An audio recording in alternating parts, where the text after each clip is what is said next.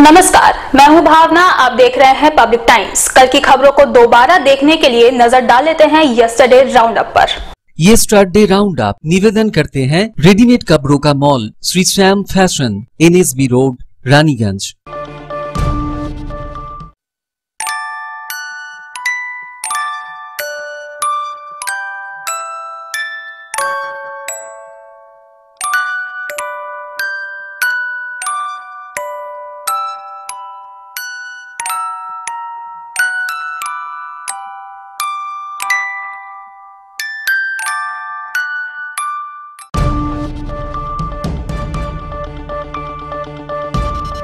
Raniganj TDB college एवं आसनसोल नगर निगम के Hindi academy के संयुक्त तत्वावधान में आगामी 30 अगस्त को शिक्षा में टीडीबी कॉलेज की भूमिका विषय पर सेमिनार का आयोजन किया गया इसे लेकर शनिवार को नगर निगम के दो नंबर बोर्ड ऑफ़िस में बैठक की गई।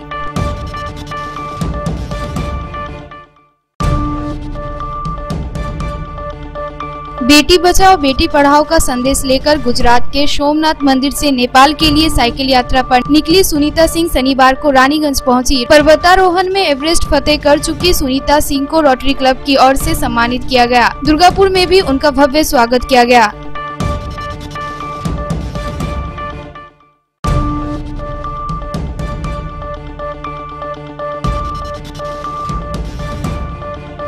आसनसोल मंडल रेलवे के आसनसोल चेलीडंगल स्थित शताब्दी पार्क और डुरान कॉलोनी स्थित विवेकानंद इंस्टीट्यूट का निरीक्षण शनिवार को मंडल रेल प्रबंधक पी के मिश्रा ने किया।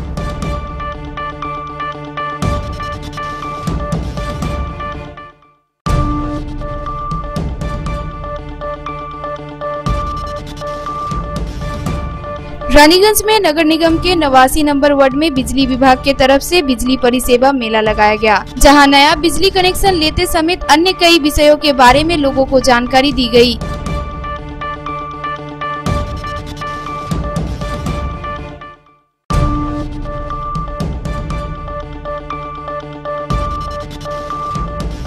पूर्व वर्धमान ज़िले के रायना थाना क्षेत्र के कालीतला ग्राम में चल रहे अवैध देसी शराब बनाने के गौरिक धंधे का पर्दाफाश हुआ। आबकारी विभाग के अधिकारियों ने पुलिस के साथ मिलकर छापेमारी अभियान चलाया।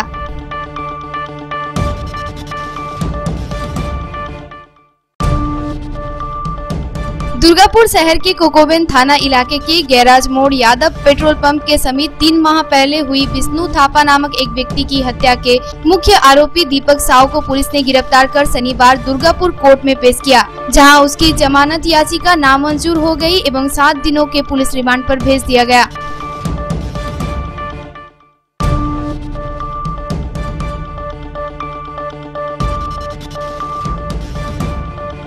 राइस ट्रेडर्स वेलफेयर एसोसिएशन के तरफ़ से पूर्व वर्धमान ज़िले में आयोजित रक्तदान उत्सव का समापन हो गया शनिवार को, जहाँ करीब 300 लोगों ने स्वेच्छा से अपना रक्तदान किया।